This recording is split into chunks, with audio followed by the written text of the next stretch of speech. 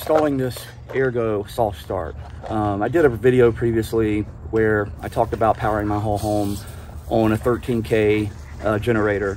And a big reason that I picked that generator and 13 kilowatts is because I wanted to be able to power my whole house.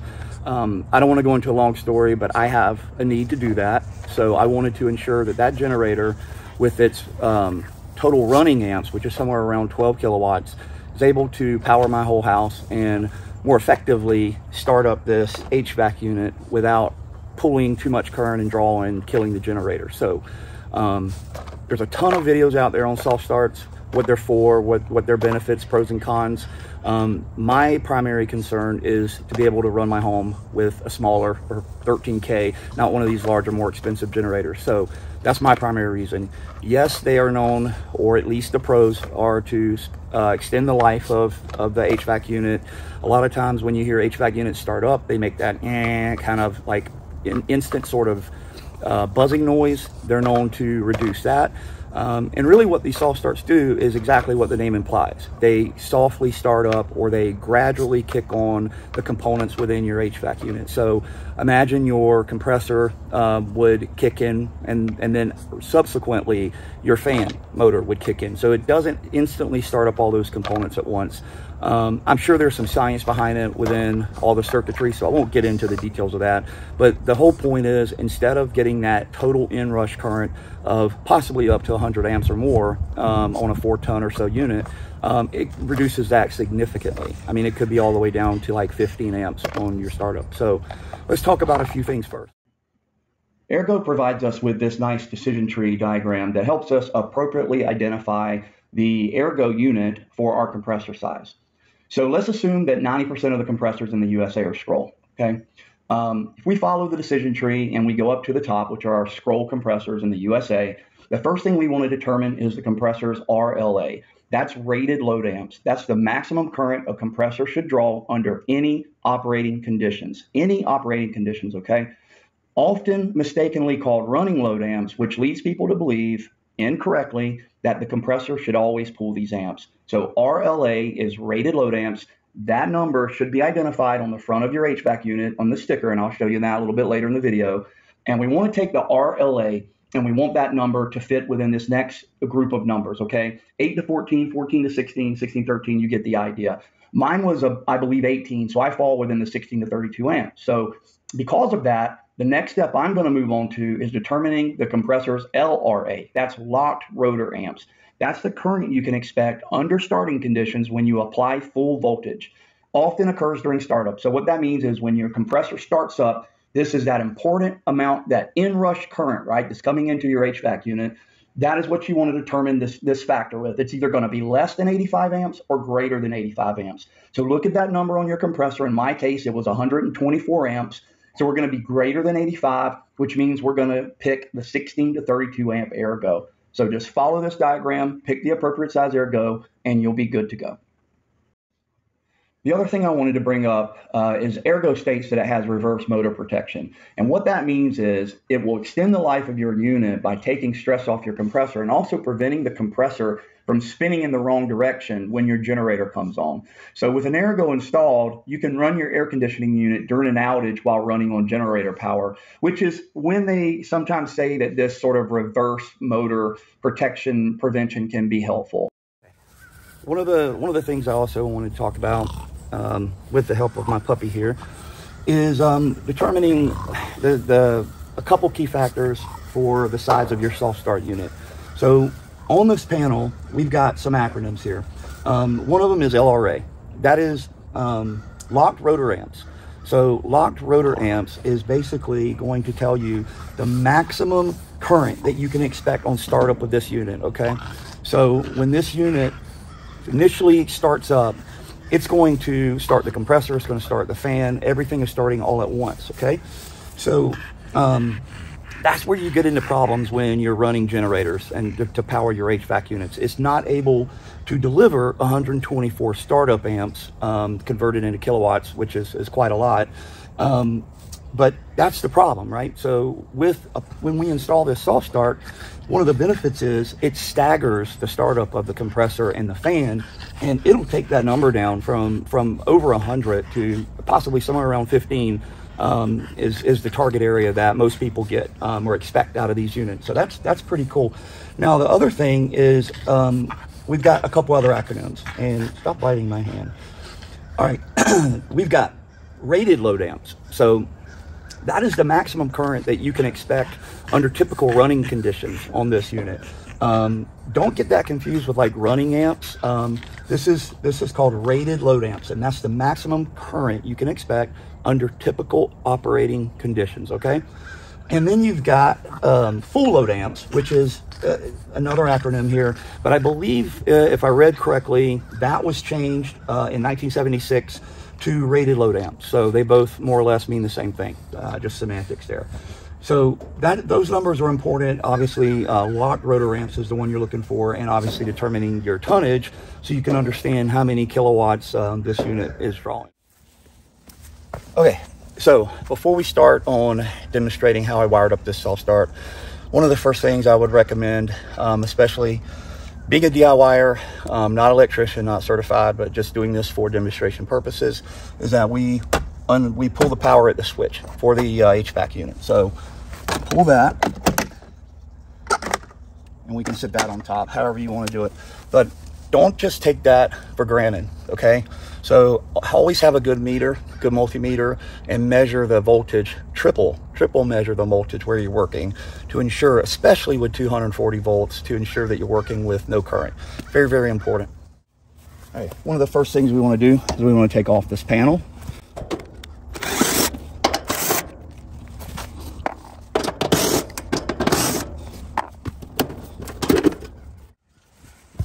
All right, now that we've got our panel off, one of the first things I want to do is I want to check to make sure that there is no power coming into this unit. So um, what I'm going to do is I'm going to check on the contactor. I want to make sure I have no power.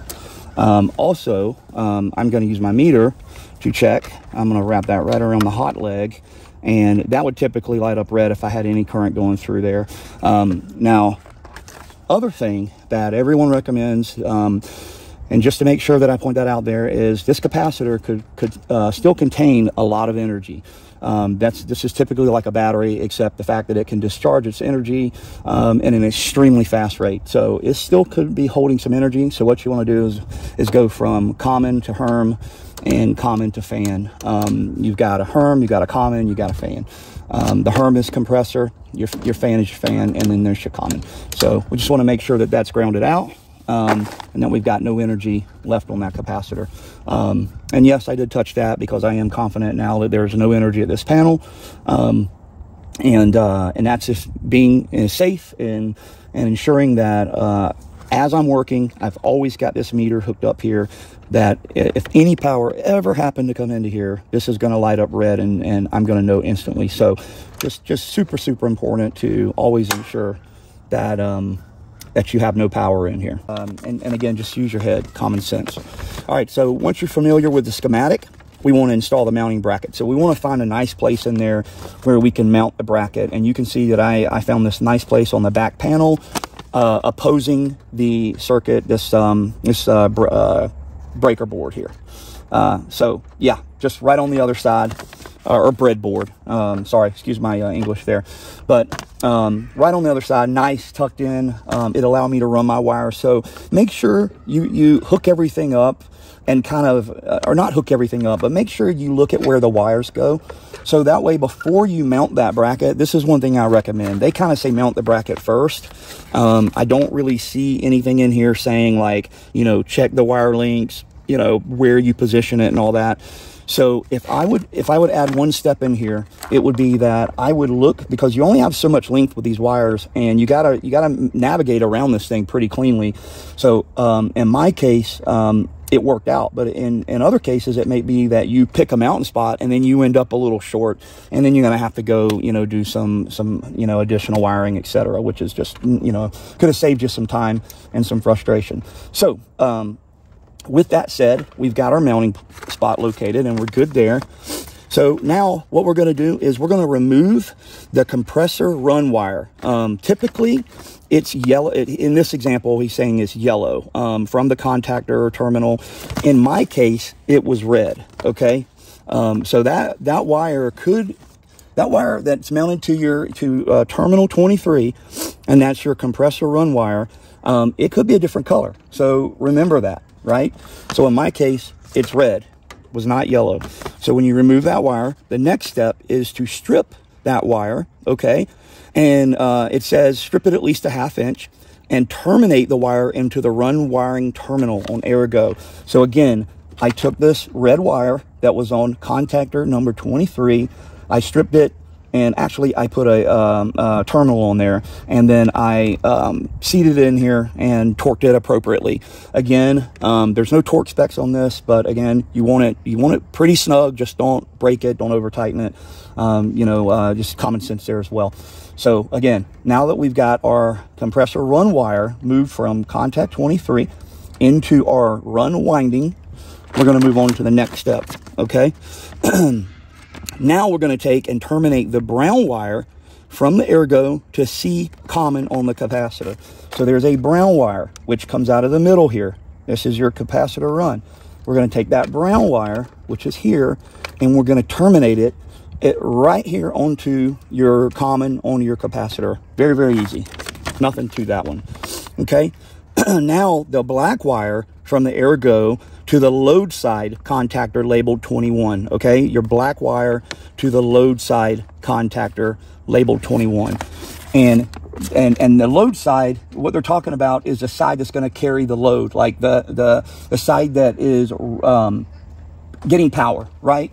Um, there's probably a better term for that. You guys can put that in the comments. Um, but again, these are two contact on two. There's there's four right on this contactor, and then you've got some terminals coming off the side. But the main ones they're talking about are on the top, the load side, and the ground side is 21 and on the hot side is labeled 23 um, and you can call and you can get some help or you can you know if you have some questions about that um, this this is how it is, in my particular case. Um, so now that we've taken um, the brown wire to the to the uh, capacitor, the common, we're going to take this black wire, black wire, right, and it's going to terminate right over here to the uh, uh, contactor 21 and I had an additional uh, tab open. I just pushed it right on there to the um, to the contactor 21, which is the, the ground side, okay?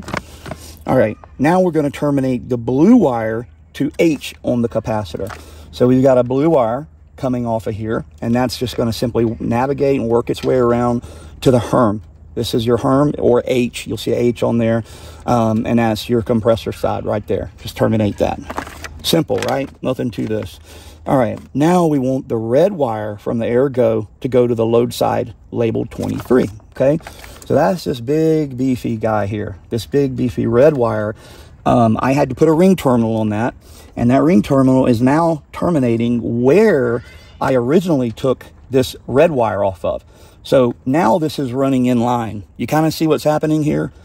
This Airgo box is taking over the control of the contactor. So instead of the contactor instantly flipping power on to all, all, the components, the compressor, the fan. What's happening is, is when the contactor turns on, the load side gets power and then it feeds into this uh, Airgo box. And now the Airgo can stagger the ramp up on uh, the devices within your HVAC, your compressor and your fan, thus dropping or reducing the startup current to your HVAC. That is super, super important. That's where you get the benefits, um, and that's how you're able to run a lower kilowatt generator powering your entire house, especially your home air conditioner. Um, now, another little tip just keep checking that I have no power coming in here. Just a tip, always keep checking, make sure that you're, you're not working with live, live electricity. Now that we've got the red wire with a ring terminal, um, connected to uh, to our contactor number 23 and we're all seated we let's let's triple check so always when i'm done i, I always go back and i triple check these things can always you can miss one. Um, they can just you, you, never know right? I mean you just when you're working with wires and moving this around they could loosen up a bit. Um, it happens. So just go back and make sure that these things are tight now, um, this is actually a plug, which is nice. Um, this makes it easier to work with. So you can wire this stuff up. You can, um, this, I just wanted you to know that this wasn't fixed to the Airgo. So that way you can mount this thing and not have to worry about all these wires being or hanging off of it. So that just plugs right in like that, right? Um, that's it. That's it. That's all there is to wiring this up. So now that I've got this, um, in here, I'm just to snap it right into the, the housing. Boom, just like that. There. So nice and tight, nice and neat. And uh, I will be able to hook up this um, capacitor um, and finish the install by neating up the wires, etc. So uh, let me do that real quick.